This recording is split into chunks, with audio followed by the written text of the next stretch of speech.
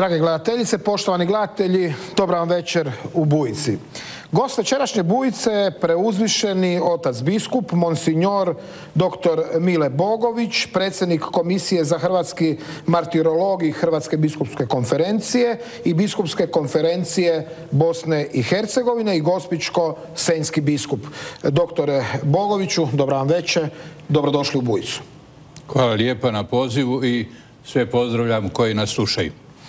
E, na početku ćemo, dragi gledatelji, vidjeti jedan uistinu sjajan govor. E, naime, mi kad e, radimo priloge, često puta nemamo vremena stvarnim istinskim zapravo dobrim govorima dati pozornost koju zaslužuju po ocjenama mnogih govor Ivana Zvonimira Čička, predsjednika Hrvatskog helsinškog odbora za ljudska prava na Hudoj jami 13. lipnja 2015. godine bio jedan od njegovih ponajboljih govora. On je tamo dobio uistinu veliki aplaus. A e, moram reći da 69. godine e, kada, je, kada se natjecao na e, Zagrebačkom sveučilištu u govorništvu dobio je prvu nagradu, čak su ga neki Britanci proglasili hrvatskim Ciceronom, a sad ćemo vidjeti zašto.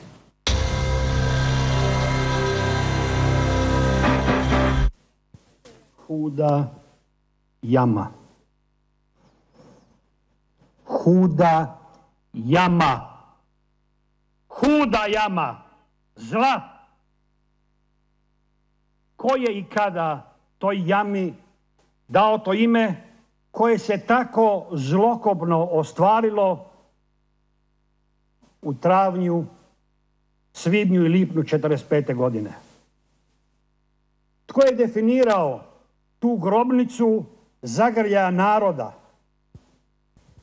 Slovenaca, Hrvata, Srba, Austrijanaca, Njemaca.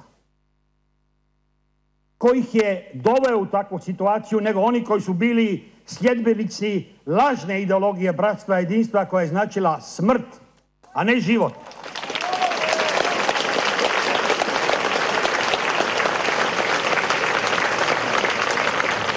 Oni su bili samo jedan od izdanaka mračnih ideologija totalitarizma 20. stoljeća koje su opožarile Europu i svijet. Nacizam i fašizam i komunizam podjednako su svojim podanicima i sljedbenicima obećavali utopiju.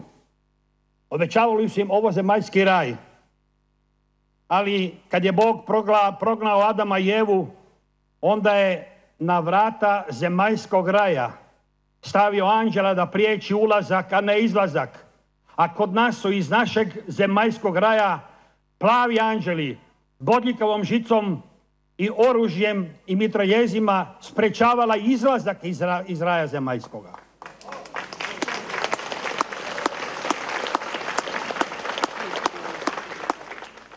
Normalno je da su te dvije ideologije, oba dvije ideologije zla, imali zajednički jezik i da su sve do kobne 1941. godine zajednički radile protiv čovjeka, protiv ljudi.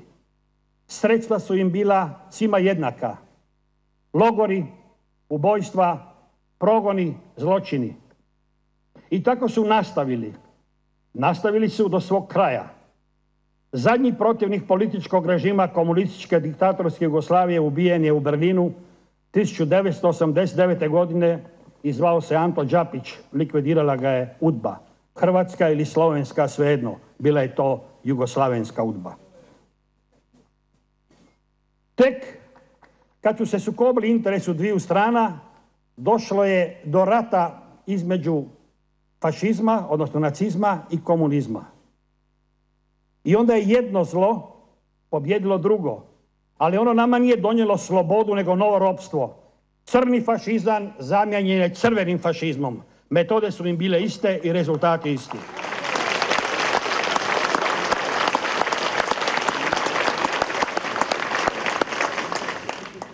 Brzo su spale maske naših anđela i mi danas vidimo da je u njima bila i kako sotonska, đavolska duša. Ova jama Ona je simbol toga kako se sjedinjuju metafizičko i ovo zemaljsko zlo. Jer samo je sotonski um mogao osmisliti takvu metodologiju smrti koja je primijenjena ovdje. Ovdje su novi Pompeji. Ovdje nisu ljudi zaustavljeni u pokretu kao u Pompejima lavom. Oni su umirali polagano i ostale su okamenjeni, munificirani, u tuzi, u hladnoći groba. A zapamtite, Dante, deveti krug pakla definira kao stanje leda, stanje bez relacije. I oni su umrli takvi.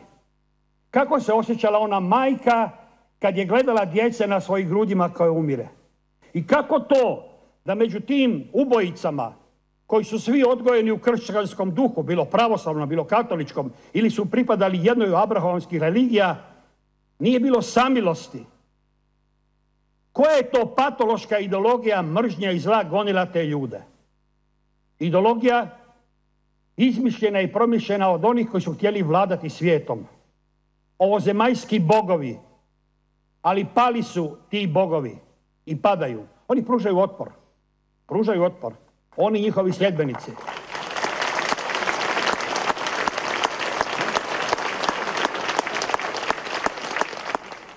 Znate li zašto oni i danas nas mrze? Kad je došla demokracija, mi, naivni i glupi, kakvi jesmo, mi smo im oprostili, ali oni nama nisu. Nisu nam oprostili to što ih ne mrzimo. I nikad ih nećemo mrziti. A njih će njihova mržnja izvijesti, jer nikad mržnja ne ubija onoga koga mrzite, nego vas ako ih mrzite.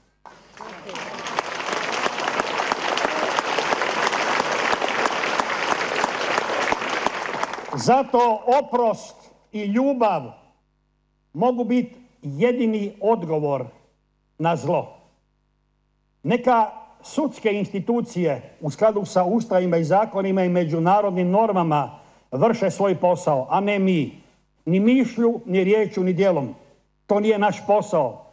Naš posao je njegovati spomen na one koji su umrli kao blaženici u grču smrti u ovoj hudoj jami ili u mnogim jamama kažu da ih ima oko 2000 diljem cijele bivše Jugoslavije. I oni kažu da su komunizmu zločini bili eksces. Ako je tisuću jama eksces, onda smo svi mi abnormalni, a samo su oni normalni.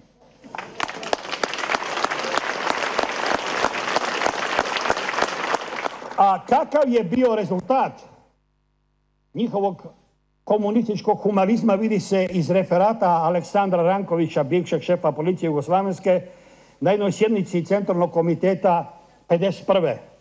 Od 45. do 51. likvidirano je oko 600 tisuća neprijatelja naroda. Logore je prošlo i različite oblike penalnog preodgoja oko 3 milijuna ljudi u državi koja je imala 15 milijuna stanovnika. To je bila Titova Jugoslavija. To.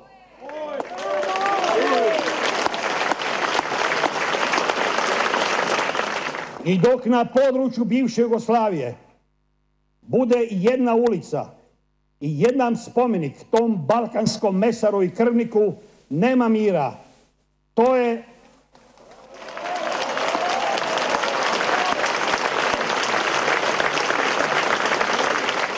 To je naš zadatak, ukloniti simbole zla sa naših ulica da ne bi zagađivali prostor i da u krivom duhu ne bi bila odgajana naša djeca i naši unuci.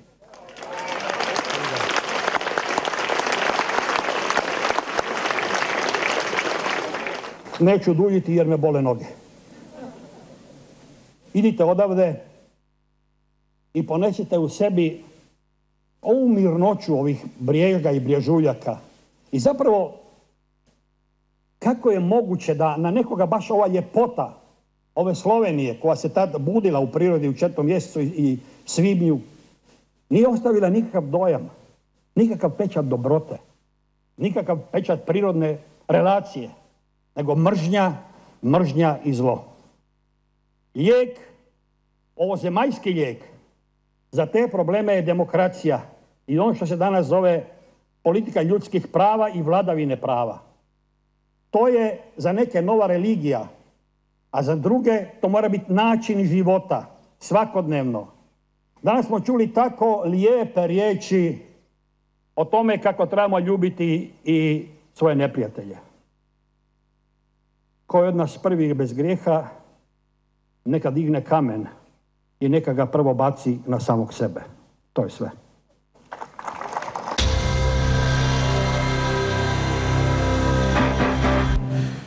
Evo, čuli smo govor e, gospodina Čička. E, oče biskupe, bili ste tamo, bili ste na Hudoj jami, e, služili ste misu zajedno sa slovenskim i austrijskim biskupom. Na početku ću vas zapravo pitati kako to da evo u našoj emisiji ima ovakvih govora, ima izvještaja, ali drugdje nigdje nema. To vas pitam i s aspekta, evo pojavila se na Facebooku jedna inicijativa za ukinućem pretplate za Hrvatsku radioteleviziju, kako je mi zovemo Radmanoviziju. Tamo je bilo 2000 Hrvata, 2000 Slovenaca, još 1000 Austrijanaca. E, međutim, nijedne kamere nije bilo iz Hrvatske, dok iz Austrije i Slovenije bilo kamera. Kako vi ovako kao biskup gledate na to? Pa, gledam kao i drugi ljudi. Naime, jasno je da oni koji su u hudu jamu proizveli, rekli bismo, napunili ljudskim žrtvama kao i njihovi sljedbenici da ne žele da se o tome sluša, da se o tome govori, da se mijenja ona slika prošlosti naše koju su oni tako dugo stvarali i meni je to sasvim razumljivo, a možda je e, recimo kada mi s druge strane govorimo pa previše naglašavamo E, tu njihovu zloću, možda im to smeta da priđu nama bliže. Ono što je rekao i Čičak, možda bi bilo dobro kada bismo mi pokazali njima jedno lice koje vodi e, čovjeka k sebi koji bi moglo oprostiti pa ja apeliram na, sve da na neki način to su ljudi isto, mi smo svi Hrvati, mi smo svi rekli mi smo iste nacionalne pa negdje i vjerske zajednice, vjerske zajednice da pokušamo napraviti taj iskorak pa da pokušamo krenuti jedni prema drugima kako je reče i sam Čičak, praštajući jednima i drugima i tražeći puteve razumijevanja i opraštanja. E, međutim, evo, sam taj odnos prema e, e, žrtvi je, strašan. vi ste u svojoj istaknutoj propovjedi na hudoj jami između ostaloga rekli da je nedopustivo da se posmrtne ostatke ljudi iskopanih na macelju u hudoj jami i drugdje ostavlja čak i u vrećama za smeće. A to je nešto doista strašno i gleda, e, pokazuje koliko zapravo se u ovom društvu koje govori stalno o nekim ljudskim pravima, e, kako se zapravo čovjeka ponižava i više puta ga se smatra kao neka krpa bezvrijedna koja normalno baca se u smeće. E, to je ono žalosno što se dogodilo recimo odmah i u vrijeme francuske revolucije kada oni koji nisu ulazili u taj revolucionarni sklop oni jednostavno bili su smetnja i štetočine pa poslije i komunisti u Rusiji kod nas govoriti da su to gnjide, uši i štakori. Prema tome to treba uništiti to je e, ta degradacija dostojanstva e, čovjeka i kada dođe do nje onda je ovo sasvim rekli bismo logična posljedica jer oni su se protivili revolucionarnoj istini, da je ono samo ispravno što su oni i njihovi vođe što su govorili. Prema tome, oni koji smetaju, oni su protiv njih ne samo, nego i protiv čovječanstva i ne vrijede da, e, da ovdje gaze po zemlji.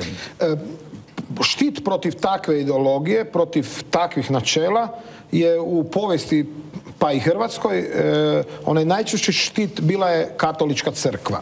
E, je li to razlog zbog kojeg su evo proporcionalno broju stanovništva i broju svećenika u Hrvatskoj zapravo komunisti pobili najveći, najveći broj svećenika u svim istočnim zemljama? E, Pa to je opet u skladu s onim što sam rekao. E, crkva je najdalje od toga pogleda na čovjeka i na svijet. I oni koji, koji su najdalje smatraju se i najveći protivnici i ukloni e, protivnika logika ove struje, rekli bismo revolucionarne istine, oni su zato da se e, čisti svijet e, u smislu njihovih normi, njihovih pravila. Crkva je bila uvijek protiv takvih postupaka i protiv takvih učenja i ona će biti stalno na udaru svih onih koji ruše ljudsko E, dostojanstvo svih onih koji ruše e, ono što bismo mi rekli sliku Božju u čovjeku. Jer e, po našemu učenju, jeli i to mi čvrsto vjerujemo, Bog je stvorio čovjeka na svoju sliku. Nema niko pravo zbrisati E, tu sliku. E, nema niko pravo na njegov, njegov život. E, svaki treba tu, kada poštuje čovjeka, poštuje i Boga, njegova tvorca i onu sliku koja je u njemu. Tu je taj korijen ljudskog dostojanstva i mi to imamo u, u, svakom slučaju. Mi to gledamo sliku i u svome neprijatelju. Ne samo onome koji pripada katoličkoj crkvi. Dok oni smatraju da prava nisu jednaka. je. Prava na e, gospodstvo, na vlast, na, na život, jeli nisu jednaka unutar onih koji pripadaju njihovoj partiji ili oni koji su protivni. Jeli. I oni koji su protivni, možeš ga spustiti na razinu uši i gnjidej.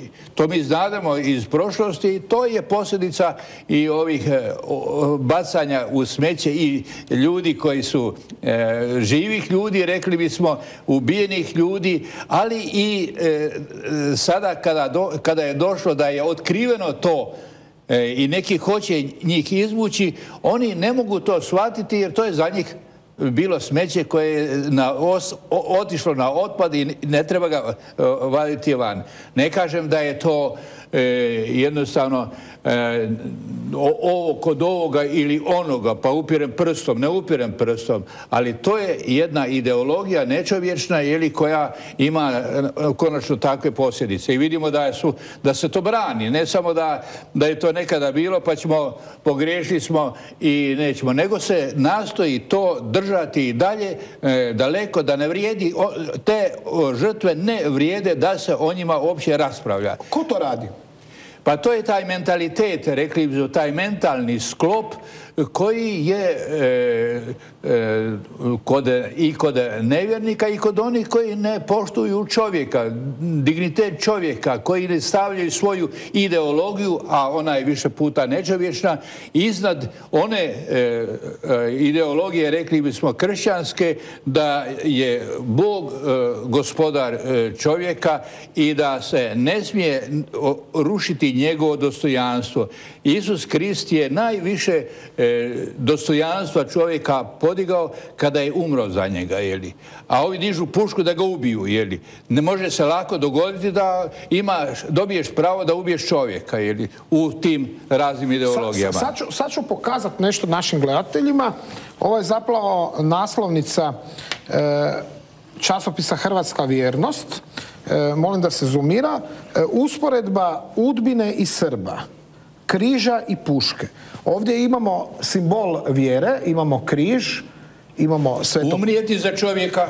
A ovdje lijevo je njihov simbol. I pušku ubiti čovjeka. E, ali nije samo puška, vidimo ovdje, mi u Zagorju kažemo vile, e, vi kažete malo drugčije. E, mi kažemo rogulje. Rogulje, ali uglavnom, pogledajte, dragi gledatelji, što slave katolici, to je križ, papa, mir, a što slave komunisti, SDP, partizani, evo oni slave vile, bodlje ili kako ćemo ih nazvati i pušku.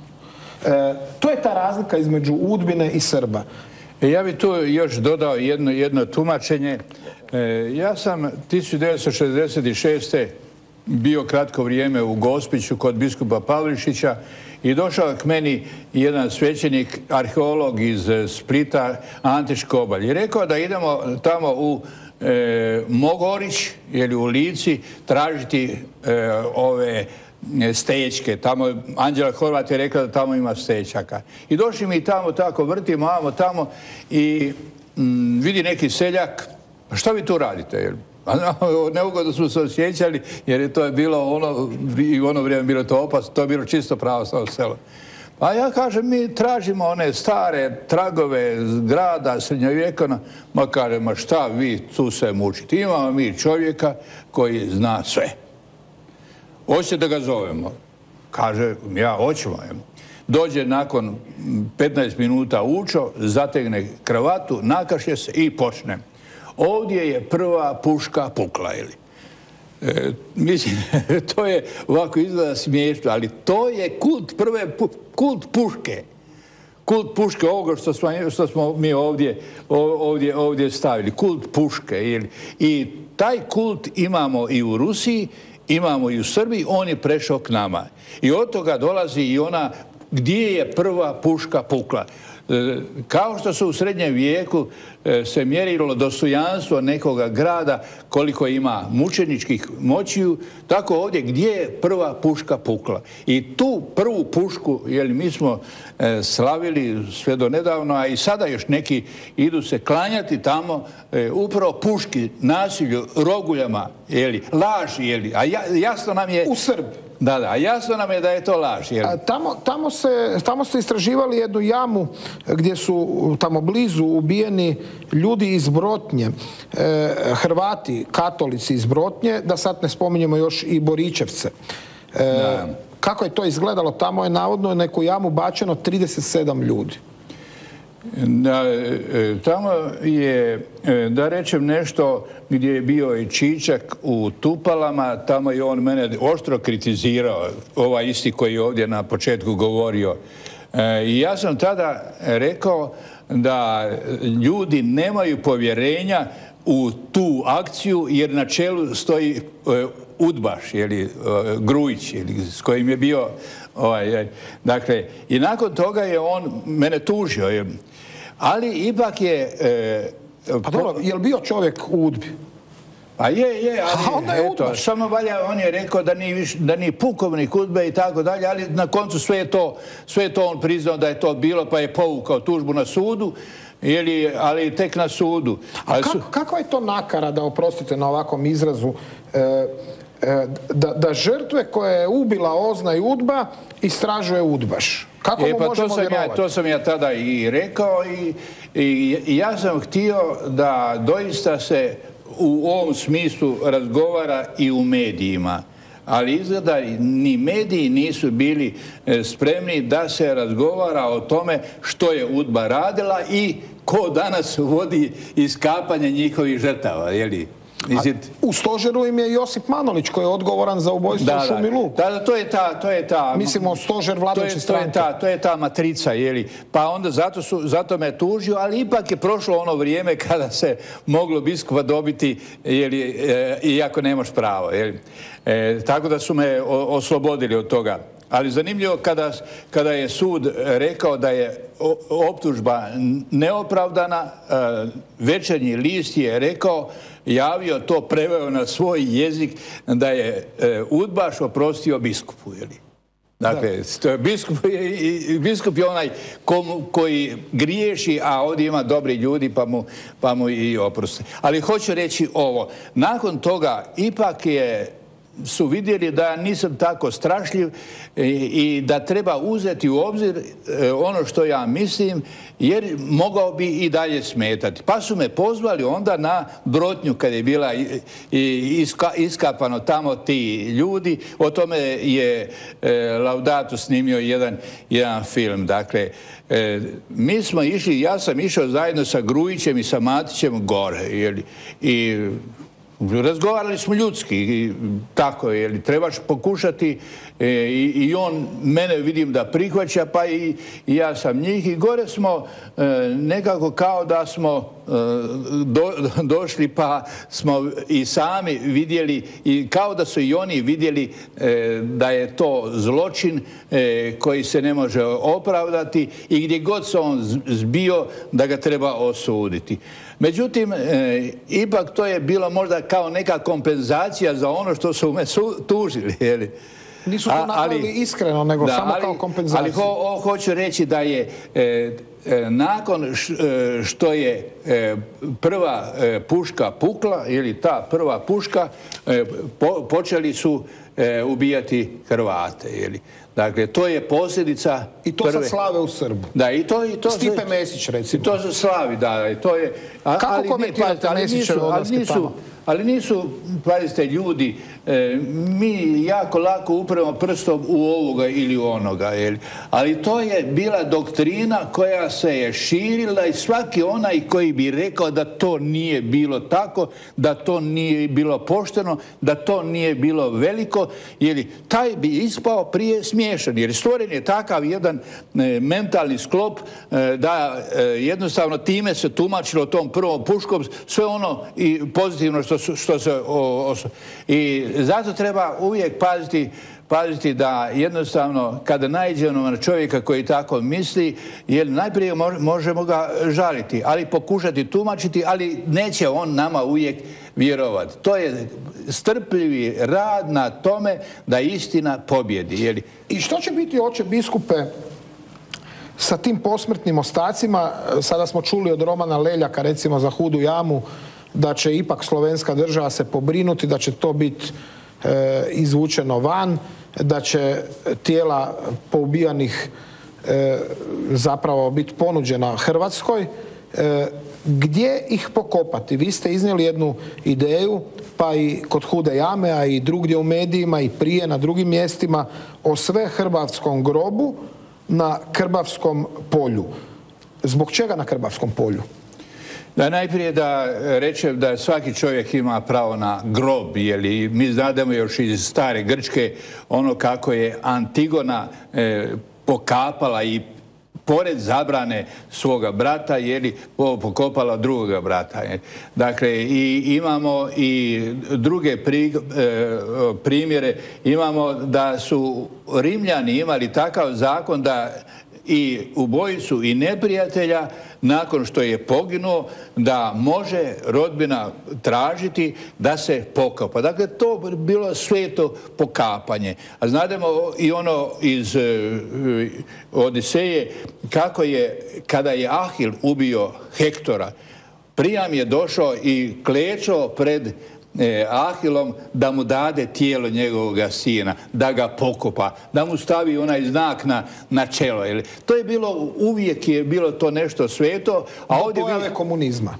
Da, da, ovdje, ovdje kod, vidimo kod Isusa, iako je on osuđen kao državni neprijatelj, Josip iz Arimateja je dobio njegovo tijelo a ovdje je jeli, nešto, to je ona e, opasna doktrina, jer i da čovjeku se svuče svakako dostojanstvo i onda ga možeš likvidirati kako hoćeš, niti zasluži grob. I e sada mi se trebamo ovdje boriti, boriti za to. Znademo da je u, u Macelju je bilo mnogo, mnogo e, tih kostiju iskopano, pa je onda to stajalo 12 E, godina na tavanima, u podrumima, u kontejnerima i nije se znalo šta sada na koncu s tim e, kostima. Dakle, to je problem e, koji se javlja i koji čim počne se to masovnije iskapati, ovo pitanje kamo s tim kostima postaće sve aktualnije. Ja mislim da velika grobišta E, treba napraviti nešto kao što je recimo u Macelju, pa onda ondje pokopati to, ali to već su detalji ali ima mnogo tih kostiju koje će završiti nekamo ili, problem su, pa ih dopeljati ako su neidentificirane. Na jedno mjesto, kao što imaju drugi narodi, e, neki nacionalni grob ili nacionalno grobište i onda tu položiti, dostojanstveno sahraniti te ljude i da i narod može dolaziti i zapaliti svijeću, jer ja isto ne znam za svoga oca gdje je gdje, je su ga ubili. Dakle, i bilo bi dobro da, da imamo jedno mjesto pa da dođe zapališ tamo I vi ste predložili Krbavsko polje. Ja sam predložio Krbavsko polje jer je Krbavsko polje u sredini Hrvatske Krvavska bitka je bila na neki način u sredini naše povijesti. U Krvavskoj bitci u roku od sati nešto više poginulo je deset tisuća e, branitelja i prema tome to je i tako na neki način hrvatsko groblje, grobište. Je. E sada je napraviti, a to se nalazi podno e, crkve hrvatskih mučenika.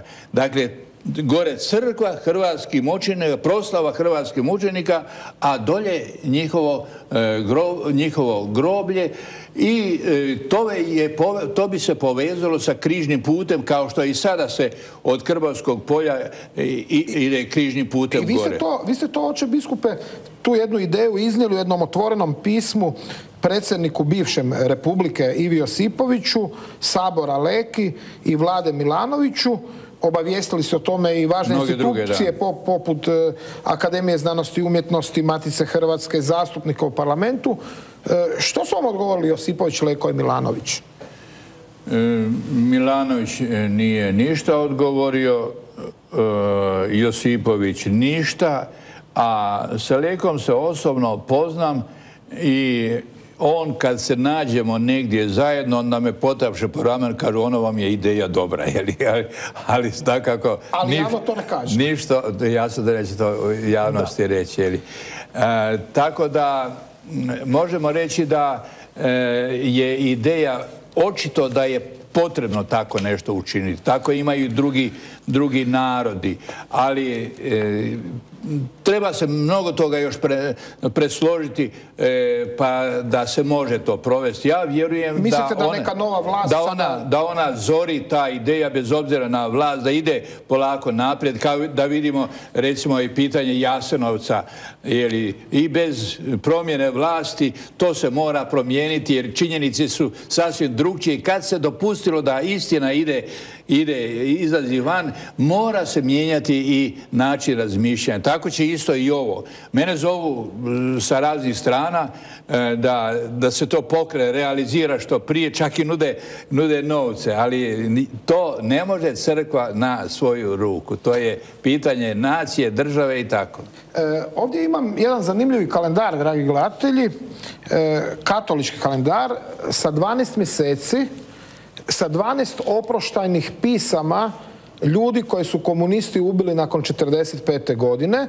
E, jedno takvo pismo preuzvišeni otac biskup pročitao je na Hude jami. Ja ću sad pročitati drugo. Riječ je o pismu Mime Rosandića, rođenog u Gospiću 1900. godine. Titovi partizani strijeljali su ga u Zagrebu 1948. godine na nepoznatom mjestu. Čovjek je bio inženjer šumarstva, hrvatski časnik, svjestan opasnosti da svakoga časta životno strada. E, on je ovako pisao svojim malenim kćerima. Draga Nera, Mara i Ika, eto vaš čakan ode za svojom zvizdom, a drugačije to i nije moglo biti. Nama je domovina iznad svega i tome se pokoravamo. Neka i vama, dico moja, to bude u vašem životu iznad svega i tim putem i naši stari kročiše i mi u njima gledamo svoj uzor. Providnost nam je odredila taj komad hrvatske zemlje, da ju štitimo, da ju branimo i sačuvamo našim pokoljenjima. Zato vaš Šakan nije mogao drugačije, a vi mu, moje drage curice, oprostite što vas je ostavio sirotama. Uzajte se u Boga, slušajte vašu majku i ostanite svojoj Hrvatskoj vjerne. Vaš Čakan Mime.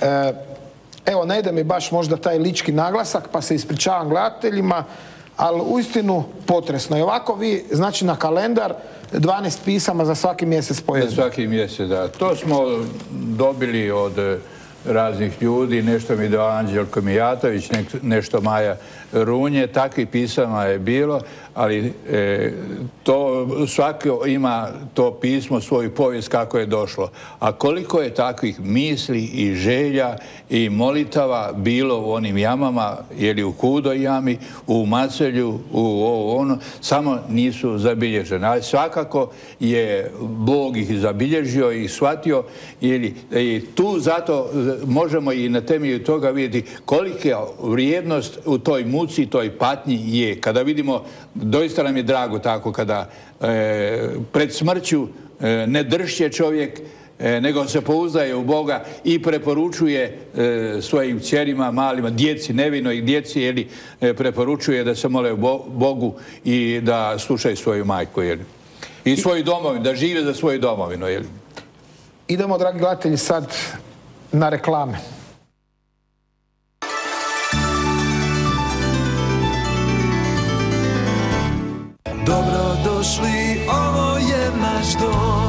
Garnitura Baltimore trosje dvosje fotelja 5490 kuna. Kuhinja Dajana blok 2 metra 1730. Ležaj grof 1690 kuna. Stolica Ivona 179 kuna. Stol Vito 160 cm 549 kuna.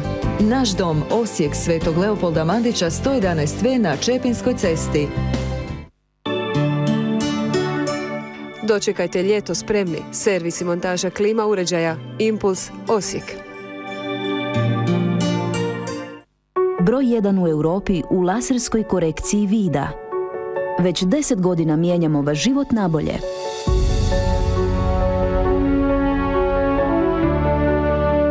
Vodeća tehnologija. Vrhunski kirurzi. Ogromno iskustvo. Vaš novi pogled na svijet.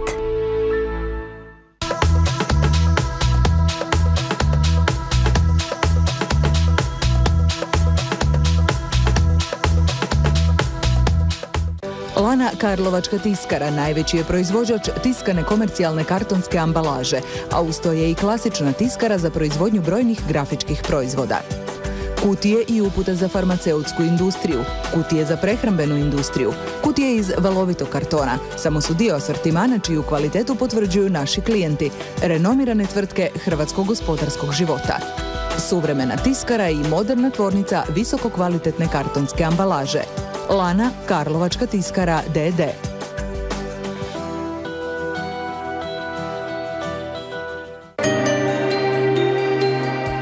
1971. u Samoboru je osnovana tvrtka DIV, danas članica DIV grupe. Sve je započelo tvornicom za proizvodnju vičane robe, a širenje asortimana i ulaganje nove tehnologije dovelo je do današnje brojke od 3,5 tisuće zaposlenika, te statusa europskog lidera. DIV grupa primat u brodograđevnom i drugim sektorima osim vičanom robom ostvaruje i visoko kvalitetnim asortimanom strojarskih dijelova, pribora za željeznički program, kao i proizvodima prema nacrtima naših klijenata. Posebno mjesto zauzima građevinski mjerni, te alat opće namjene iz našeg brenda Modex Profiline, koji zadovoljava najviše standarde kvalitete, ali i sve potrebe naših kupaca. Provjerite i vi zašto su naši klijenti jedni od najvećih svjetskih brendova i zato kada tražite kvalitetu, zatražite proizvode Div Grupe. Naša domovina slavi, mi slavimo Hrvatsku. Dan državnosti s glazbom u četvrtak 25. lipnja u 21 sat na jezeru Bundek. Gabi Novak, Radojka Šverko, Sandra Bagarić, Martina Tomčić, Oliver Dragojević, Zlatko Vites, Žak Houdek, Parni Valjak, Prljavo kazalište, najbolji hrvatski tamburaši, Klapa Grdelin, Zvijezdice, Kvartet Gubec i Zagrebačka filharmonija podravljanjem maestra Alana Bjelinskog. Koncert je pod visokim pokroviteljstvom predsjednice Republike Hrvatske Kolinde Grabar-Kitarović uz potporu gradonačelnika grada Zagreba Milana Bandića. Vidimo se na Bundeku 25. lipnja u 21 sat. S glazbom za Hrvatsku!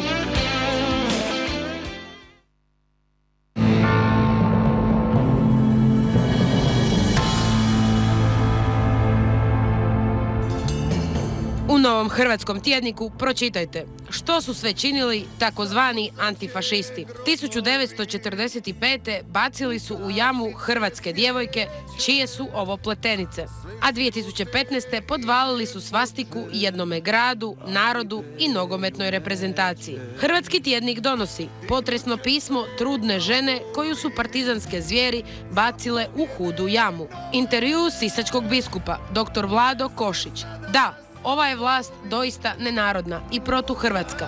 Ne po načinu izbora, nego po vladanju. Svakoga četvrtka u cijeloj Hrvatskoj najprodavaniji hrvatski politički časopis. Hrvatski tjednik. Sve drugo je manipulacija.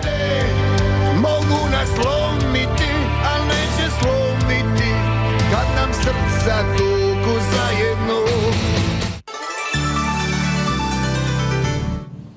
Evo, malo ću se referirati na Hrvatski tjednik koji je na kioscima već jedan dan. E, vaš kolega, dr. Košić, kaže ovo je nenarodna vlast. Što kaže dr. Bogović? Pa, e, Košić i ja smo se uvijek slagali. Dobro. E, dragi gledatelji, evo sad ćemo vidjeti još jedan telop. E, 22. lipnja Hrvati će ići na Jazovku. Komemoracija će se održati u 10 sati. E, polazak sa autobusnog kolodvora e, u Zagrebu za sve one koji tamo žele ići je u 7 sati e, i druge mnoge udruge iz drugih krajeva Hrvatske dolaze na Jazavku gdje će se okupiti ove godine očekuje se pa čak i 10.000 ljudi. Ono što je interesantno na taj isti dan 22. lipnja u šumi Brezovica je opet kako bi rekao dr. Bogović pukla puška, pukla prva puška Tamo se nisu usudili ni puknuti. Nisu, nisu se ni usudili tamo puknuti. E, što se to za vas dogodilo u šumi Brezovice? Jesu oni ustali e, protiv fašizma ili su oni ustali na, po naredbi e, svog druga Staljina protiv Hrvatske države? Kako znademo, tada je e, Hitler napao na Sovjetski savez, na Staljina i dakako da je u redovima komunističke partije gdje god ona bila, ma gdje je bila, nastao jedan dar mar i ljudi su se sklonili, neki su u podrum, neki u šumu, jer ovdje su otišli izgleda u šumu e, da čekaju šta će biti. Jer E, dakle, po sebi nije, nije tu bilo nešto što bi trebalo sada posebno spominjati, pogotovo ne da mi trebamo sad biti jako zahvalni za to. Ali ja bih htio upravo reći da na taj dan, 22. lipnja 1593. u kod Siska bila se ona poznata Sisačka bitka o kojoj je cijela Europa brujala i zahvaljivala Hrvatima što smo ih obranili od neprijatelja sa istoka i od Turaka. I time je tom Sisačkom bitkom završen je tako zvani stogodišnji rat, sto godina nakon e, Krbave Hrvatska je samo gubila. Ali kada je bila ta sisačka bitka, dakle 22. lipnja, nakon toga Turci nisu uspjeli e, zauzeti, rekli bismo, niti jednu stopu Hrvatski.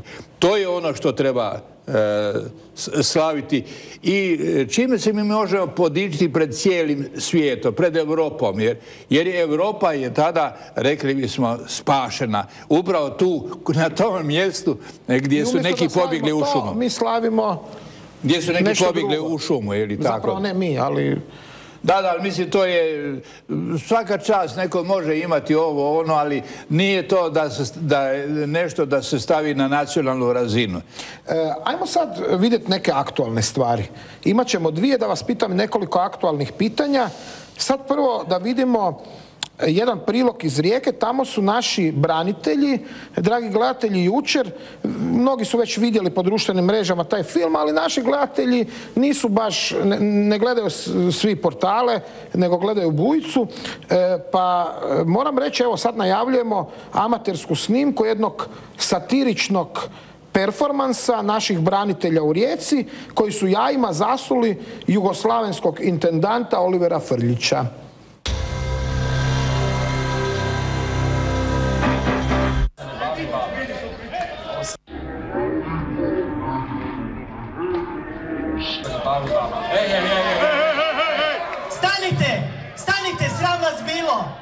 Stanite, sram vas bilo!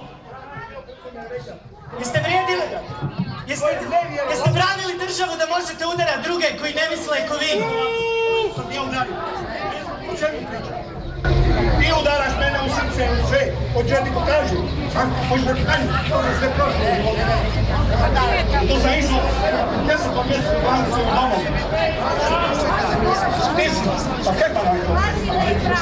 Ko je? Kako te nije sram? Jer možeš shvatiti ja koliko ja imam sad godina. I obolio sam i ranije sam bio sve. I ti ćeš mene tu vređati. Pa može se mi sram. Kako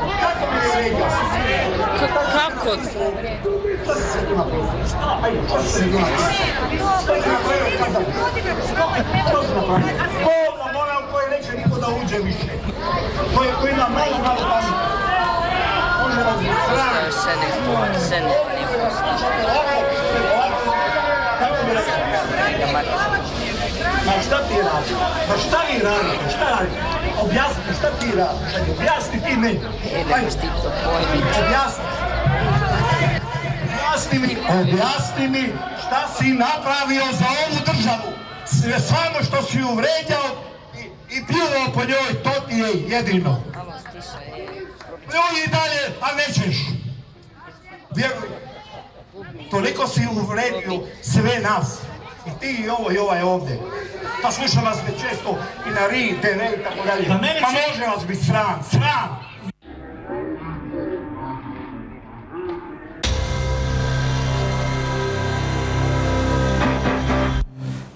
Dragi gledatelji, e, često se u Rijeci izvode svakakve predstave.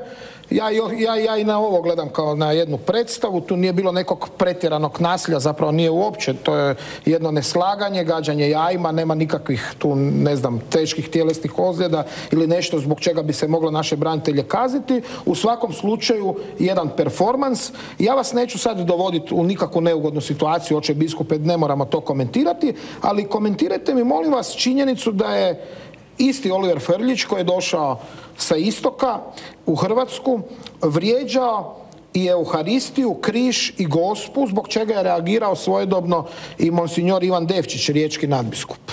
E, kakvi su to ljudi koji ne poštuju tuđe vjerske osjećaje i rade kazališne predstave u kojima se vrijeđa? Ja jesam katolik, nikad mi ne bi palo na pamet raditi emisiju recimo u kojoj bi vrijeđao vjerske osjećaje pravoslavaca, muslimana ili bilo kog drugog. E, gdje su te granice koje bi trebalo poštivati i kako to netko dođe u državu koja ima 90% katolika pa vrijeđa onda križ i gospu?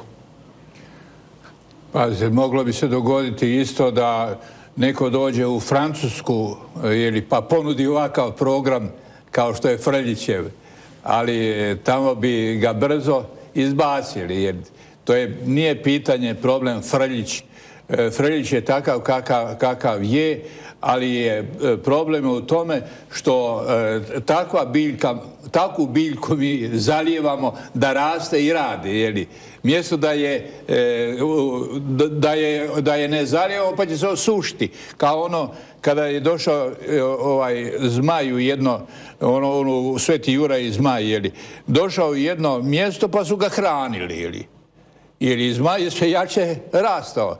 Jeli, na koncu, jeli, da, da ga nisu hranili, krepao bi. Jeli.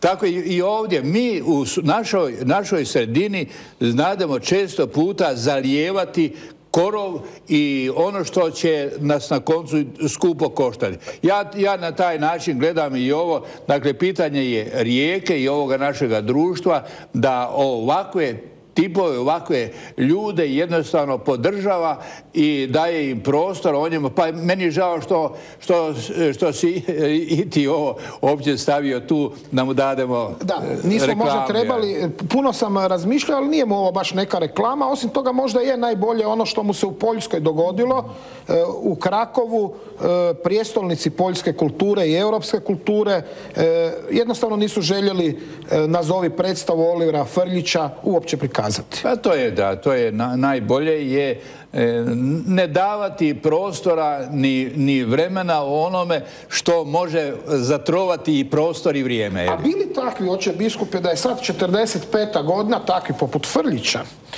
e, vas bacili na macelj, mene možda na hudu jamu, iako ja im se ne bi predao.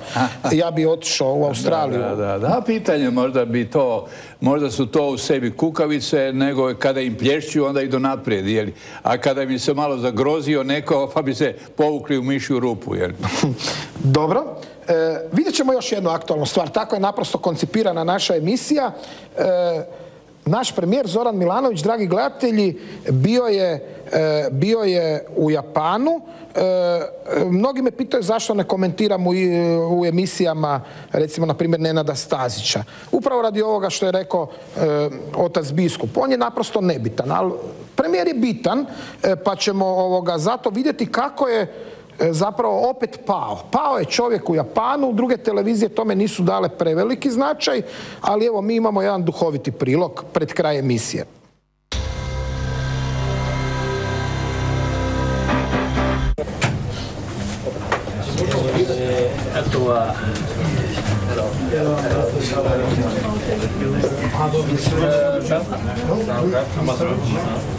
Så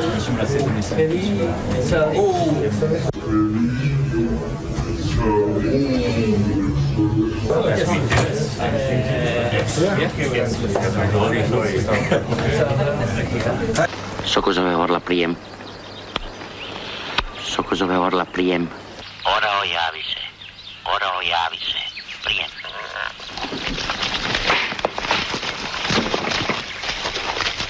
Ora o pao. Ora o pao. Soko dolazi. Soko dolazi.